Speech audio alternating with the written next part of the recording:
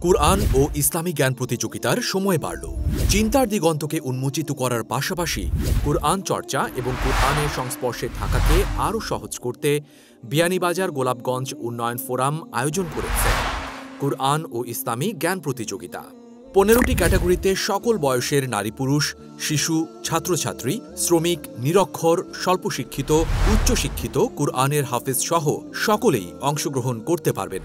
ছয় লক্ষ পঁয়তাল্লিশ হাজার টাকা মূল্যের একশো পঞ্চাশটি পুরস্কারের মধ্যে যে কোনো একটি ক্যাটাগরিতে অংশগ্রহণ করে আপনিও জিতে নিতে পারেন নগদ অর্থ পুরস্কার।